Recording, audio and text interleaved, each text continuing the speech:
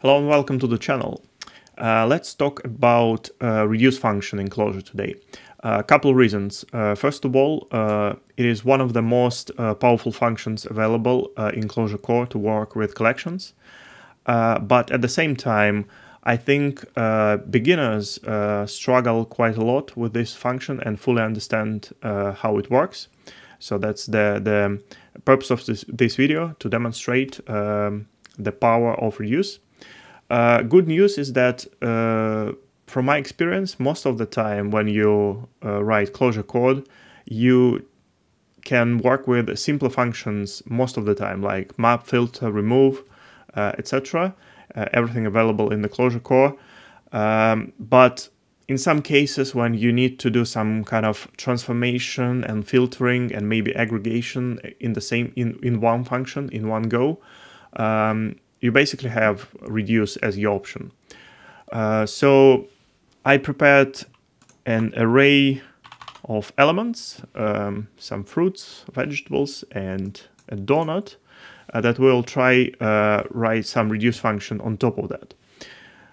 So first of all, um, if you want something simple, like um, if you want double elements in that array, for example, uh, you can do something with map, right? You don't need to do reduce here. So you can do some partial, um,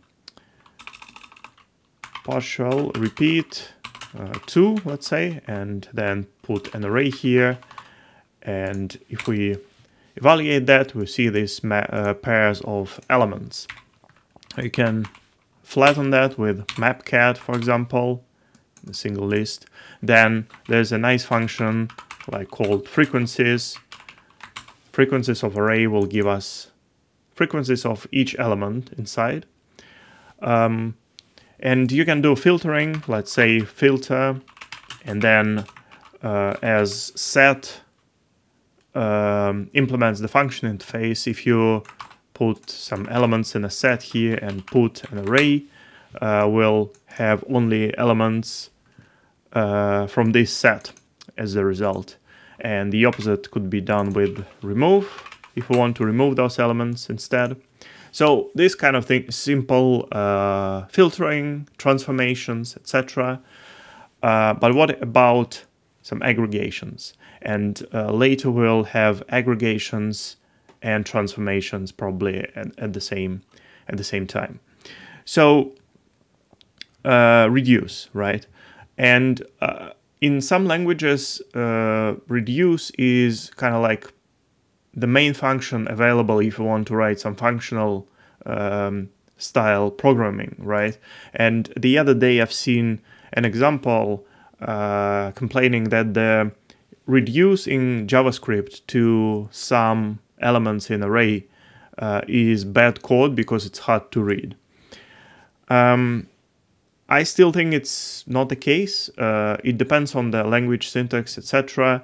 In Clojure, if you have an array like 1, 2, 3, 4, and if you want to sum that, you can do reduce on that uh, plus as a function, and you can provide initial value or you can just omit that because it doesn't matter. If you remove this initial value, these two elements will be the first pair uh, to run the plus function on. But on the other hand, if you want to uh, provide some non-zero initial value, let's say like minus 10, uh, you can do it with, with this original accumulator value. Uh, but in Clojure, I would avoid reduce for this simple uh, sum operation because on the other hand you can do something like uh, um, apply plus to a vector and this will give you the result. Uh, but let's dive in finally into uh, like semantics of reduce function. So let's do it here, reduce, and we go inside to check the docs. So there are two versions, as we already seen. One is with two arguments and one is with three arguments. Uh, the only difference is that uh, you can pass any value here as initial one. Uh, and then in this case, this function f will be called or this original value and the first element of the uh, collection. And then it will be called on the result of applying f to these two first pair and the second element in the collection. The only difference here is that in the first iteration, you'll pick two elements from the collection, apply function f, and everything else stays the same. So let's uh, do it here. Let's create some fn.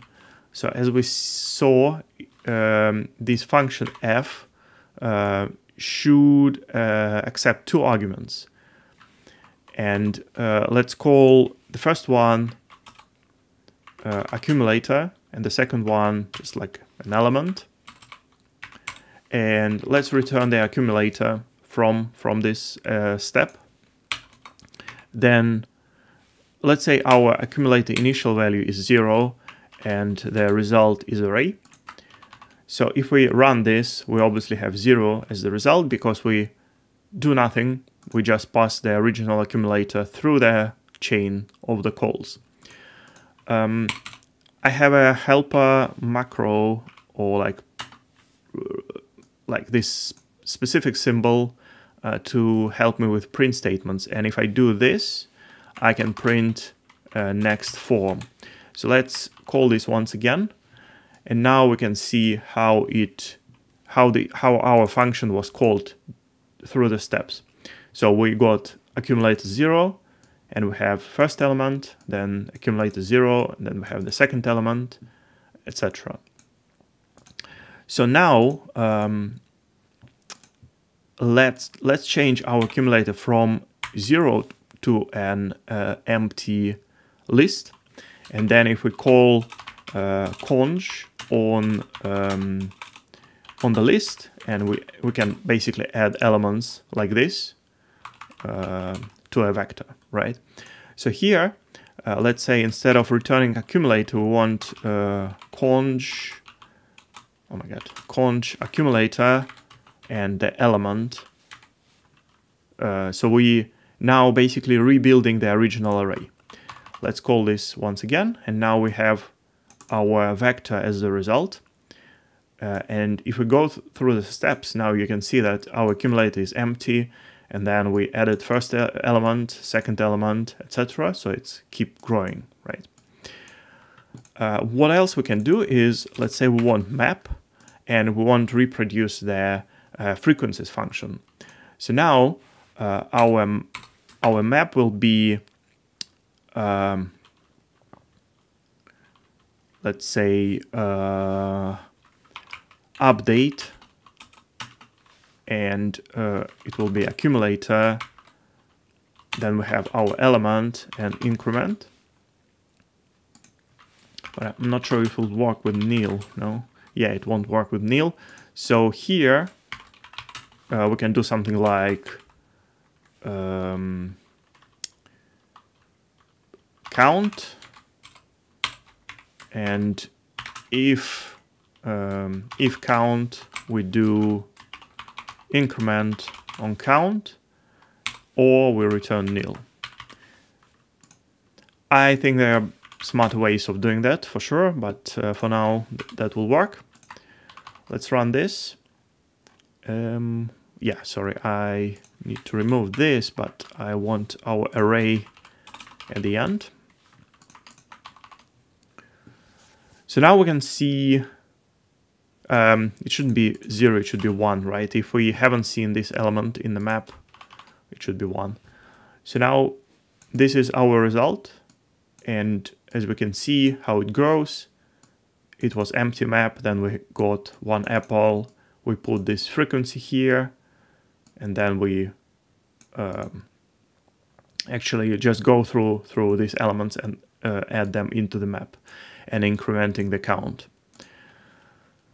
And as you can see, the, the power of re reduce is that this accumulator could be anything, really.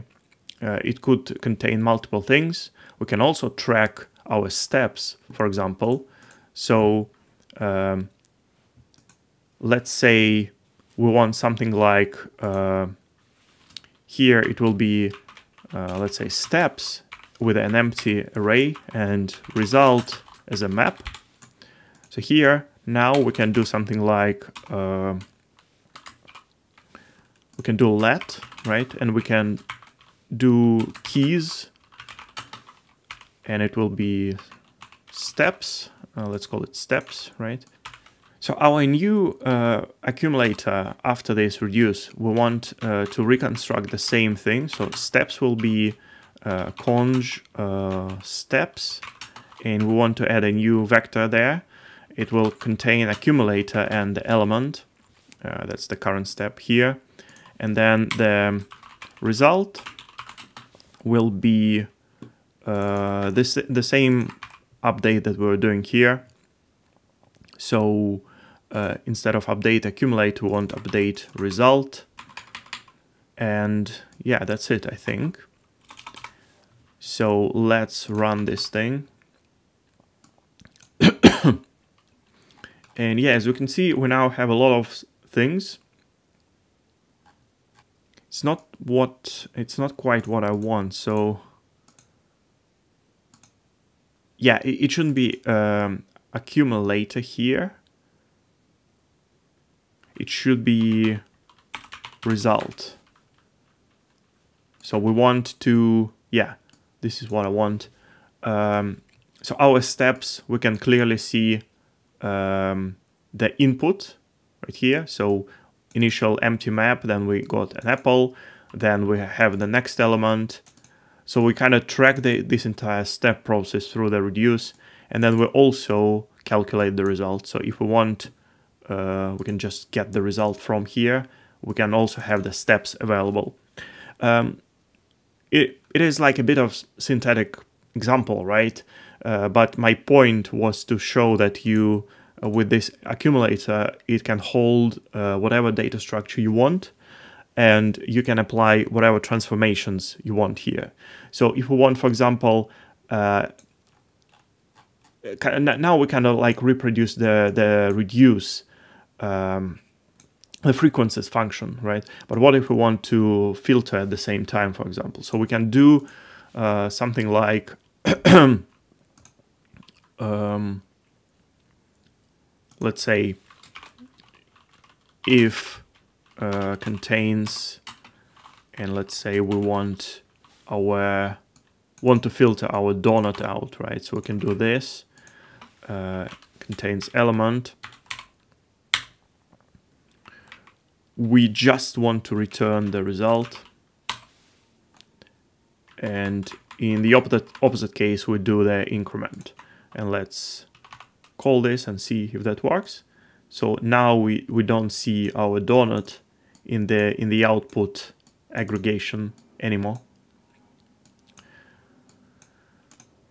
So to recap uh, what we learned is if we want to use the reduce uh, the last argument is always the collection you want to reduce.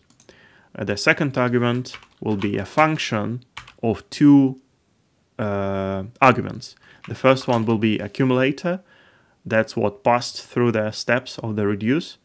And then uh, current element from array, right? Here you do the logic. Um, somehow add uh, element to accumulator and uh, return return accumulator. And this will works it will take first and second element uh, from the array and apply this function. In this case if you want a different initial value of accumulator you pass it here. It could be anything you want you can pass a map, you can pass a vector. It shouldn't be, it couldn't be, it could be not empty, like a vector of couple of elements if you need it. It could be just a primitive, integer string, whatever you want. Uh, this function defines how this initial value of accumulator and the element from the array works together, so you can produce the next uh, result, the next accumulator version. And that's it for today. Uh, let me know what you think. Um, leave comments and please likes and like and subscribe. Uh, see you next video. Bye bye.